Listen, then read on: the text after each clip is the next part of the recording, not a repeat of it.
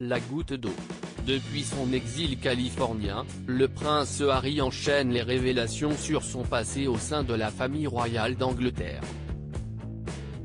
Dans The Me You Can't See, documentaire autour de la santé mentale et des troubles mentaux, le duc de Sussex s'en est encore pris à son clan, tirant à boulet rouge sur le prince Charles, son père, qu'il aurait laissé souffrir sous les feux des projecteurs qu'il aurait préféré éviter comme l'a rappelé The Mirror, ce vendredi 21 mai.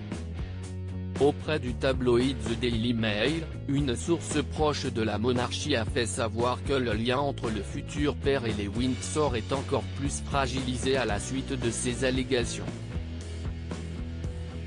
Chacun a du mal à comprendre ce qu'il tire ou espère réaliser par des interventions comme celle-ci, a déploré ce proche de la couronne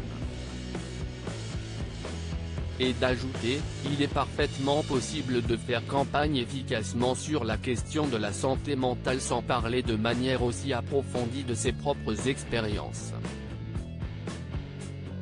Le prince Harry serait-il rancunier après l'accueil glacial qui lui a été réservé lors des obsèques du prince Philippe?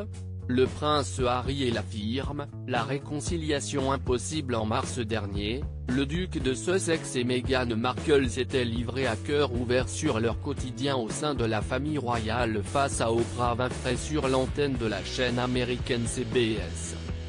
L'ex-actrice avait notamment déclaré qu'un membre de cette dernière avait glissé des commentaires à connotation raciste à l'approche de son accouchement et au sujet de son fils Archie.